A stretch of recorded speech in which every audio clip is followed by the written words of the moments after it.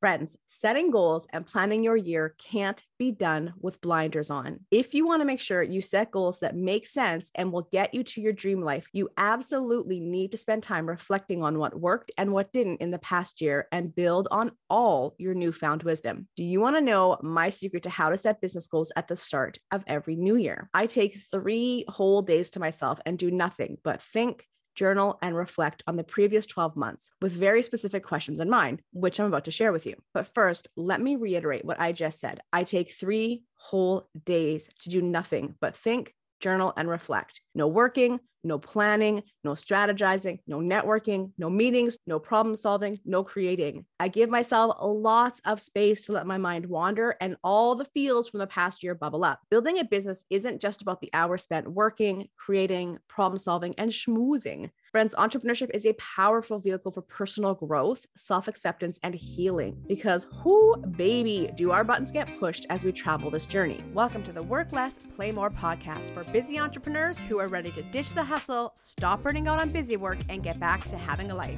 My name is Lindsay Johnson, aka The Radical Connector, and I've spent the last 10 years teaching first time entrepreneurs how to get customers and make money. Listen in as I chat with other hustle recovering business owners as we share our top tips tips for, you guessed it, working less and playing more. Let's do this. Hello, friends. Welcome to this week's podcast. And for those counting, this is podcast 20. Holy smokes. I can't believe we already have 20 podcasts up and posted for you. Now, this is going to be the last podcast of the year. And then I am taking a well deserved break over December to chill, to eat some Christmas baking, to hang out with friends and family in a socially distanced and safe way. And oh boy, I am going to rest. It has been a doozy of a year and a half, almost two years. And while I always recommend that entrepreneurs take an extended time off over the holidays, especially if you your business is slow this time of year, I feel like this year we really need to take an extended break. Now, if you're a part of the Rad Connectors community, and if you're not, why aren't you? Come and join us. We're on Facebook. Just search for Rad Connectors. We're going to be focusing on what it means to take a real break in December and really reflect on the year before you dive into goal setting. If the pandemic hasn't proved one thing over the past couple of years, it's that time isn't real and plans are arbitrary. I want you to remember that this year as you're wrapping up and starting to think about what you want your 2022 to look like. The tendency is to take December and set all your goals for next year, make your vision board, really pump yourself up to have a big year in the next year.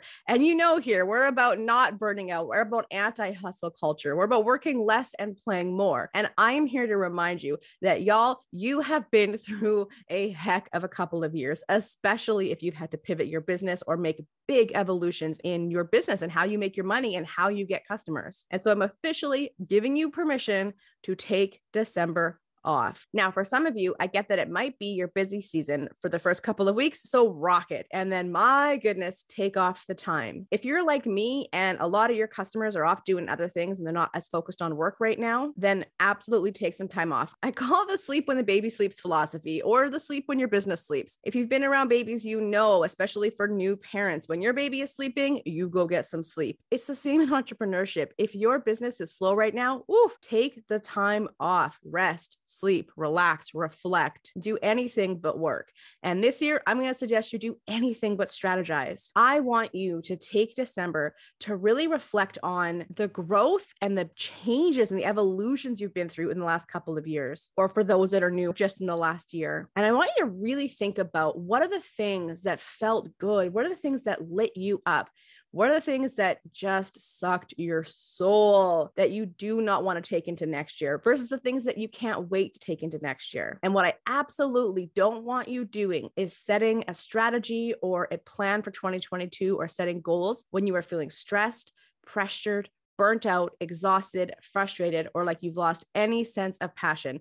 And that can happen this time of year because the pressure is hard to hustle this time of year. And for a lot of us, it is a busy season right now, and we are burning out. So, the rule for this year, the December 2021 rule for this year is do not set goals until you are adequately refreshed and renewed and refocused. Now, you probably know that I do a free workshop every single month for the entrepreneurs in the Rad Connectors community. And December 8th workshop is going to be all about reflecting on what took place this year and what we've learned as business owners, the patterns we've seen, what's worked in terms of our marketing or our sales processes, and what just made us feel stinking good as entrepreneurs. And then, of course, getting real about things maybe we've been forcing ourselves to do that we don't want to do anymore that we can just go ahead and let drop. So we'll be diving into a whole big 2021 debrief on December 8th for our free Rad Connectors workshop. You can get all the info on the show notes or just go to my website, theradicalconnector.com. It's all there in my free goodies section. And then starting in January, that is when we will officially be setting goals. Because why?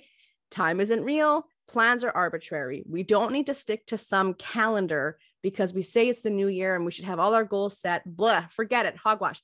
If that doesn't work for you, if you're feeling a little burnt out, a little exhausted, take the time. You can start fresh in January when you're mentally fresh and energetically fresh as well. Also, when you have a lot of downtime, oh, it's so great for just like playing online, going and looking at other things that are happening, trends that are going on, you know, the things that you maybe can't get to when you're really busy during the year. Take that time to let yourself be inspired. Take the time to let yourself dream. And then come meet me in January and then let's set some goals for the year. As for now, as for our final podcast, our 20th podcast of 2021, and the last one before myself and Min, our podcast manager, takes a break, I have 15 questions for you right now that I would love for you to reflect on over December to really help you set business goals that inspire and delight you next year in 2022. All right, are you ready? Let's do this thing. Friends, setting goals and planning your year can't be done with blinders on. If you want to make sure you set goals that make sense and will get you to your dream life, you absolutely need to spend time reflecting on what worked and what didn't in the past year and build on all your newfound wisdom. Do you want to know my secret to how to set business goals at the start of every new year? I take three whole days to myself and do nothing but think, journal, and reflect on the previous 12 months with very specific questions in mind, which I'm about to share with you. But first, let me reiterate what I just said. I take three whole days to do nothing but think, journal, and reflect. No working, no planning, no strategizing, no networking, no meetings, no problem solving, no creating. I give myself lots of space to let my mind wander and all the feels from the past year bubble up. Building a business isn't just about the hours spent working, creating, problem solving, and schmoozing. Friends, entrepreneurship is a powerful vehicle for personal growth, self acceptance, and healing because who, baby, do our buttons get pushed as we travel this journey? Now, before we dive in, the best way to use this list of 15 questions is to number one, schedule a few days in your calendar just for thinking. Number two, grab your notebook and dive into these 15 questions to help you connect deeply to yourself, your business, and the business goals that inspire and delight the heck out of you. And number three, remember no solving or creating. You are just reflecting. And I know, I know many of you out there are going to want to go into some sort of strategy or figure out the how to make it happen and start planning it out. Nope. You were just reflecting over these three days. All right, let's dive in with question number one What worked to move my business forward? Thinking about those RGAs, those revenue generating activities that resulted in new customers, open the doors to new opportunities to expand your audience, clientele, and reputation, or leveled up your mindset and confidence? Who did you hire this year to support you in moving forward? What mindset shifts had the biggest impact on clearing internal blocks to growth?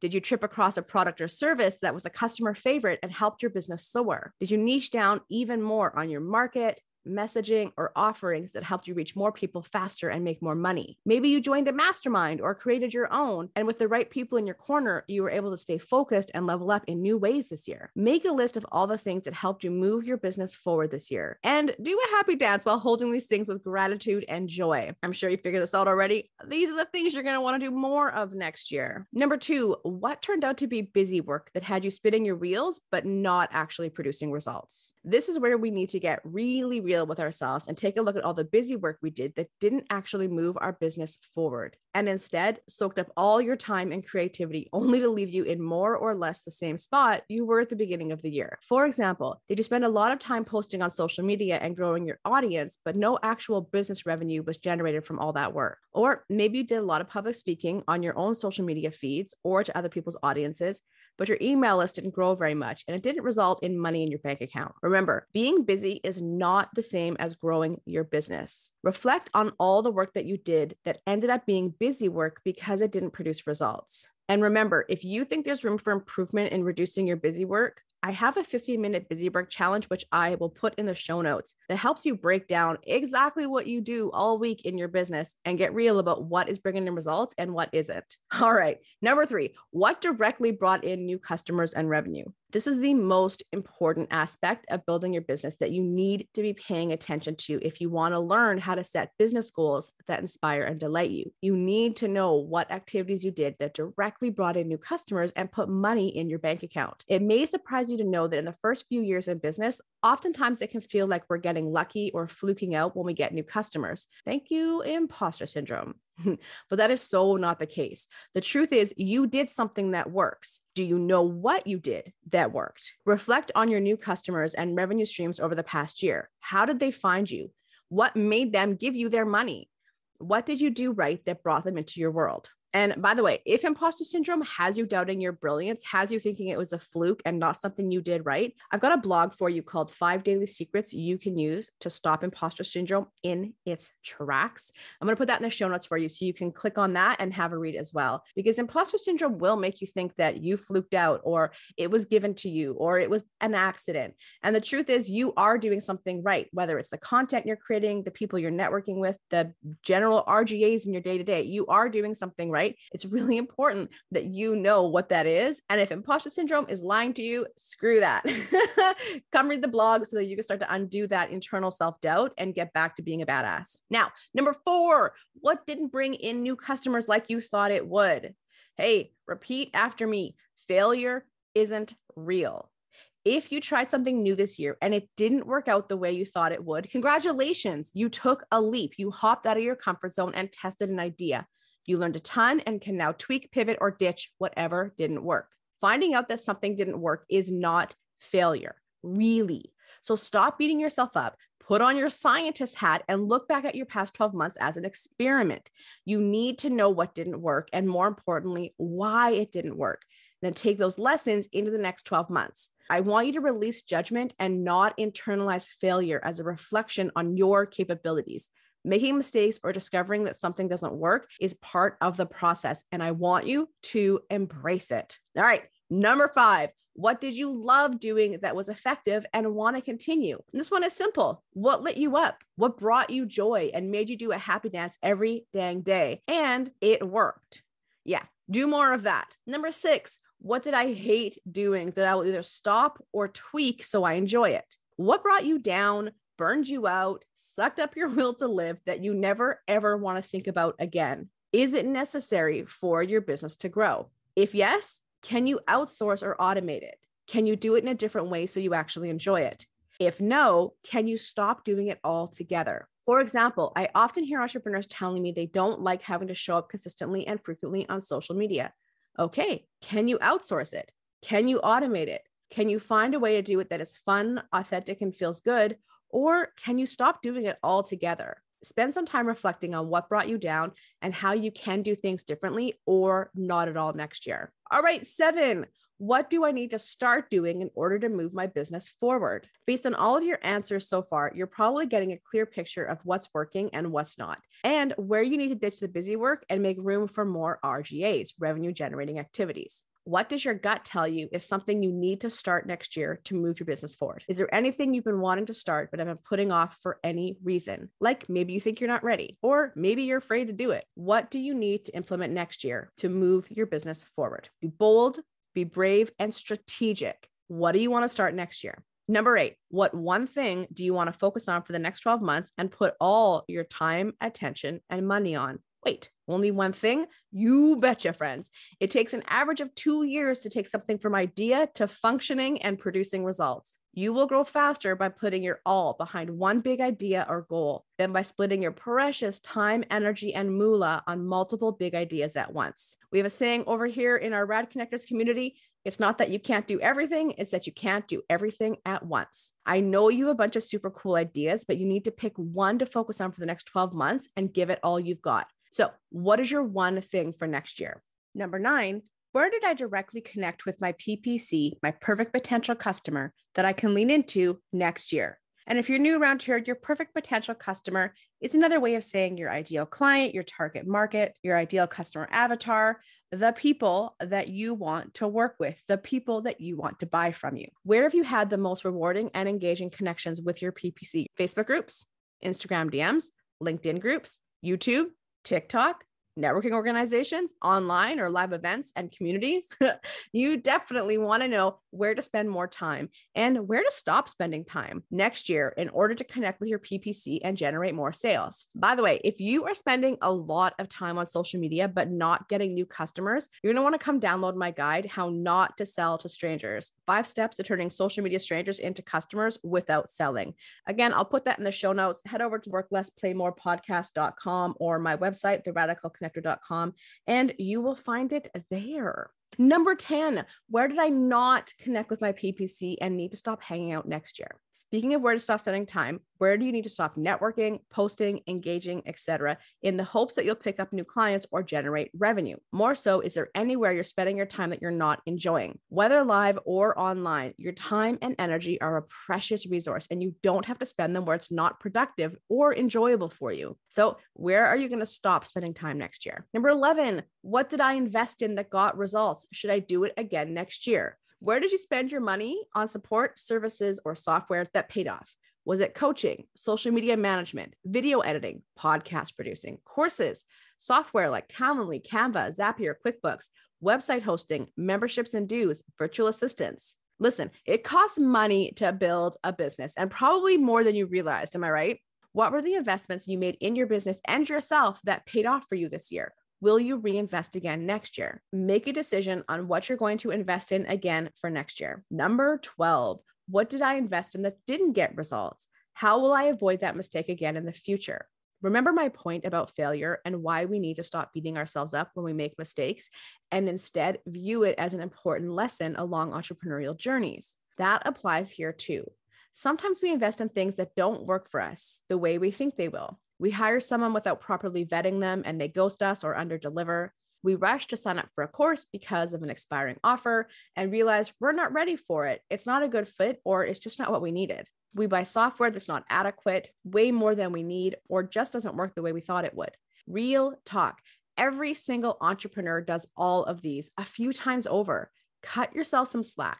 You're juggling a lot up in that brilliant brain of yours, and sometimes you don't make the best decisions under pressure or because you're new in the game and haven't learned the right questions to ask before shelling out your hard earned money yet. Now, I'm not saying these lessons don't hurt and don't cost us, but they are not the end of the world. They are part of the process. The important thing is to reflect on your bad investments from this year and think about what went sideways and how you'll avoid similar situations in the future. Number 13, have I clarified my niche and revenue streams? I touched on this earlier, and I want us to dig a little bit deeper now with this question. Have you clarified your niche, marketing, offerings, and revenue streams this year? Were there any runaway hits in your products, services, or content?